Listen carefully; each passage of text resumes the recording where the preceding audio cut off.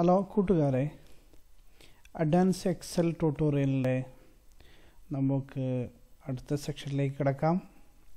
അപ്പോൾ നമ്മൾ മുമ്പ് കഴിഞ്ഞ വീഡിയോയിൽ എല്ലാവർക്കും ഞാൻ പറഞ്ഞത് മനസ്സിലായി എന്ന് വിചാരിക്കുന്നു. നമ്മൾ ഗ്രാജ്വലി എക്സലിന്റെ അഡ്വാൻസ് ലെവലിലേക്ക് നമ്മൾ പ്രവേശിക്കുകയാണ്. അപ്പോൾ എല്ലാവരും ഇത് കോഡിംഗ് ആണ്. വളരെ ശ്രദ്ധയോടുകൂടി പഠിച്ചാൽ മാത്രമേ നമുക്ക് ഇത് മനസ്സിൽ ഓർമ്മയിൽ നിൽക്കുകയുള്ളൂ. ഇതിന് ഏറ്റവും കൂടുതൽ വേണ്ടത് നമ്മൾ വീഡിയോ കണ്ടതിന് ശേഷം നിങ്ങൾ ആ വീഡിയോ പോസ്റ്റ് ചെയ്തോ ക്ലോസ് ചെയ്തോ നിങ്ങൾ അത് എക്സലിൽ നിങ്ങൾ പ്രാക്ടീസ് ചെയ്യണം. പ്രാക്ടീസ് മേക്ക് പെർഫെക്റ്റ് എന്നാണല്ലോ. നമ്മൾ എത്ര പ്രാക്ടീസ് ചെയ്യുന്നോ അത്രയും നമുക്ക് നമ്മുടെ മനസ്സിൽ ഓർമ്മ നിൽക്കുകയും നമ്മൾ പെർഫെക്റ്റായി നമുക്ക് പഠിക്കാനായി കഴിയുകയും ചെയ്യുള്ളൂ. അപ്പോൾ നമുക്ക് ഇനി കോഡിംഗ് സെഷന്റെ ബേസിക് ബാലപാഠങ്ങളിലേക്ക് നമുക്ക് പ്രവേശിക്കാം. അപ്പോൾ നമ്മൾ എക്സലിൽ നമ്മൾ ഇതുപോലെ sheet one sheet three two three എന്നുള്ള ഷീറ്റിനെ നമ്മൾ ആഡ് ചെയ്യാൻ നമ്മൾ എന്ത് ചെയ്യും? ഇതിൽ ഇതിൽ ജസ്റ്റ് ഒന്ന് ക്ലിക്ക് ചെയ്താൽ നമുക്ക് എന്ത് ചെയ്യാം? ഷീറ്റ് ആഡ് ചെയ്യാൻ പറ്റും. നമ്മൾ ഡിലീറ്റ് ചെയ്യാം. ഈ ഒരു ഐക്കണിൽ ക്ലിക്ക് ചെയ്താൽ നമുക്ക് ഷീറ്റ് ആഡ് ചെയ്യാം. എന്നാൽ വി ബി എ ഉപയോഗിച്ച് നമുക്കൊരു ഷീറ്റിനെ എങ്ങനെ ആഡ് ചെയ്യാം എന്നുള്ളതാണ് ഈ വീഡിയോയിലൂടെ ഞാൻ ജസ്റ്റ് പറഞ്ഞു തരുന്നത്.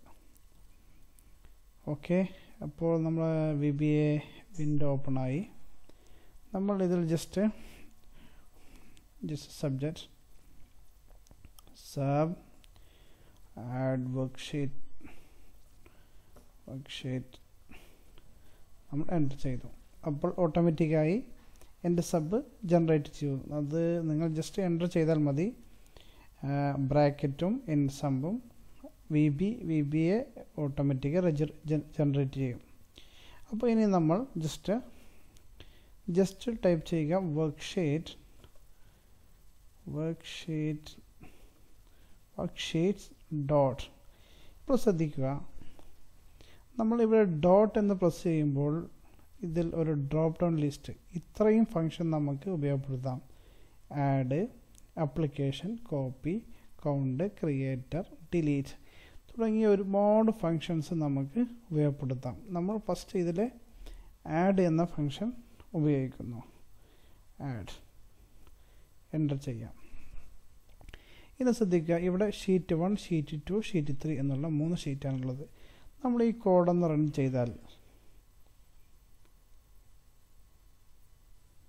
നെക്സ്റ്റ് ഷീറ്റ് ഇവിടെ ആഡായി കാണാം. ഷീറ്റ് സിക്സ് അത് ഞാൻ മുമ്പ് രണ്ട് ഷീറ്റ് ആഡ് ചെയ്തത് ഡിലീറ്റ് ചെയ്തതുകൊണ്ടാണ് ആ ഓർഡറിലേക്ക് വന്നത്.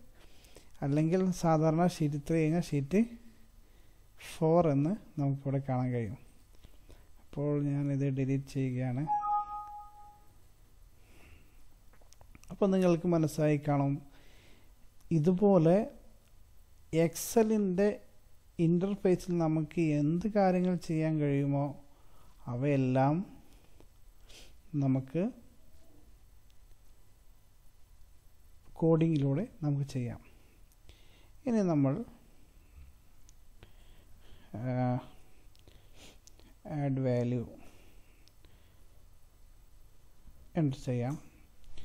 ഇനി നമ്മൾ ഈ ഒരു എക്സലിലെ സ്പ്രെഡ്ഷീറ്റിലെ ഓരോ സെല്ലും എങ്ങനെയാണ് വി ബി എ തിരിച്ചറിയുക എന്നുള്ളത് നോക്കാം. അപ്പോൾ നമ്മൾ ഇതിന് ഉപയോഗിക്കുന്ന റേഞ്ച് എന്ന കമാൻഡാണ് വി ബി എയിൽ ഉപയോഗിക്കുന്നത്. അതായത് റേഞ്ച് റേഞ്ച് നമ്മൾ ബ്രാക്കറ്റിൽ ബ്രാക്കറ്റ് ഇട്ടതിന് ശേഷം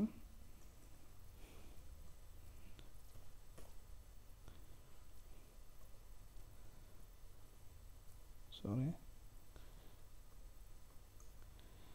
നമ്മൾ ഏത് സെല്ലാണ് നമ്മൾ just A one A one set ചെയ്താൽ എ വൺ എന്ന് സെറ്റ് ചെയ്ത് നമ്മൾ ഡോട്ട് പ്രസ് ചെയ്താൽ ഇപ്പോഴും ഇത് നമുക്കൊരുപാട് വിൻഡോ നമുക്ക് ലഭ്യമാണ്. സ്ക്രോൾ ചെയ്താൽ നമുക്ക് ഒരുപാട് ഫങ്ഷൻസ് നമുക്ക് ഇതിൽ ആഡ് ചെയ്യാൻ പറ്റും. അപ്പോൾ ഇത് just just value V V type ചെയ്യുമ്പോൾ തന്നെ വാല്യൂ പോപ്പപ്പ് ചെയ്ത് വരും. നമ്മളിത് സെലക്ട് ചെയ്യുന്നതിൽ ഡൗൺ കീ കീബോർഡിൽ ഡൗൺ ആരോ പ്രസ് ചെയ്ത് ടാബ് പ്രസ് ചെയ്താൽ മതി. All value is equal to നമ്മൾ എന്ത് ചെയ്യുന്നു? ടൈപ്പ് ചെയ്യുന്നു. മലയാളം.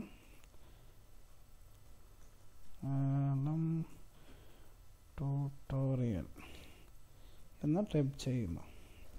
ഇനി നമ്മൾ ഇത് റൺ ചെയ്താൽ. ശ്രദ്ധിക്കുക. ഇവിടെ എ വൺ എന്നതിൽ നമുക്ക് ഈ ടെക്സ്റ്റ് നമ്മൾ ടൈപ്പ് ചെയ്ത ടെക്സ്റ്റ് ആഡായിരിക്കുന്നു അപ്പോൾ ഇനി നമുക്ക് ഇതുപോലെ ഒരുപാട് കോഡ് സെല്ലിൽ വാല്യൂ ആഡ് ചെയ്യണമെങ്കിൽ ഇതുപോലെ മാനുവലി ടൈപ്പ് ചെയ്യേണ്ട ആവശ്യമില്ല. ജസ്റ്റ് സെലക്ട് ചെയ്തതിന് ശേഷം കൺട്രോൾ സി കീബോർഡിൽ നമ്മൾ കൺട്രോൾ വി പ്രസ് ചെയ്ത് കൺട്രോൾ വി ഇനി നമ്മൾ ജസ്റ്റ് ഇവിടെ എഡിറ്റ് ചെയ്താൽ മതി. ജസ്റ്റ് എ വൺ എന്നുള്ളത് എ ടു പ്രസ് ചെയ്യാം. നമ്മൾ വാല്യൂ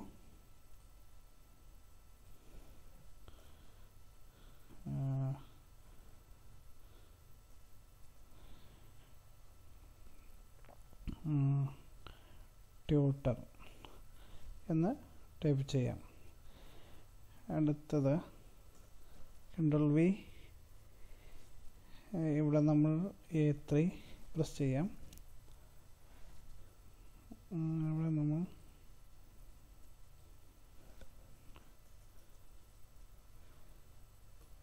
സ്റ്റുഡന്റ് സ്റ്റുഡന്റ് അപ്പോൾ ഇത് നമ്മൾ ഇത്രയും ടൈപ്പ് ചെയ്ത് നമ്മൾ ജസ്റ്റ് റൺ ചെയ്യുമ്പോൾ നമ്മൾ ശ്രദ്ധിക്കുക. നമ്മൾ ടൈപ്പ് ചെയ്ത ഓരോ വേർഡും ഇവിടെ ഡിസ്പ്ലേ ചെയ്യുന്നതാണ്. അപ്പോൾ നമുക്ക് വി ബി എയിൽ നമുക്ക് എങ്ങനെയാണ് എക്സലിന്റെ ഒരു സെല്ലിനെ ഐഡന്റിഫൈ ചെയ്യുന്നത് എന്നുള്ളത് മനസ്സിലാക്കും അപ്പോൾ നമ്മൾ ഇനി സ്പെസിഫൈഡ് ആയ ചില വാല്യൂ ഇതിൽ അപ്ലൈ ചെയ്യണമെങ്കിൽ നമുക്ക് ആ ടെക്സ്റ്റിന് പകരം ഒരു വാല്യൂ അപ്ലൈ ചെയ്താൽ മതി.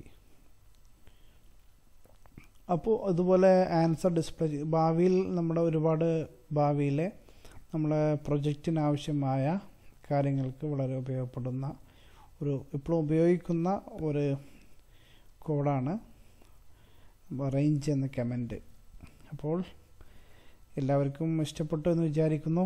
നിങ്ങളുടെ സംശയങ്ങൾ ഉണ്ടെങ്കിൽ അതുപോലെ നിങ്ങൾ നിങ്ങൾ നിർമ്മിക്കാൻ ഉദ്ദേശിക്കുന്ന വല്ല പ്രൊജക്റ്റുകൾ എന്നുണ്ടെങ്കിൽ അതിന് വല്ല അസിസ്റ്റന്റും ഉണ്ടെങ്കിൽ ആവശ്യമുണ്ടെങ്കിൽ നിങ്ങൾ കമന്റ് ചെയ്യുക.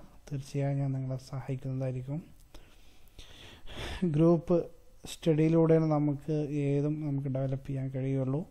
അപ്പോൾ എല്ലാവരും വളരെ ശ്രദ്ധയോടുകൂടി ഓരോ സിൻടാക്സും ഓരോ കമന്റും പഠിച്ച് പ്രാക്ടീസ് ചെയ്ത് നമ്മൊന്ന് അഭ്യർത്ഥിക്കുന്നു. ഓക്കെ അടുത്ത വീഡിയോയിൽ കാണാം. ബൈ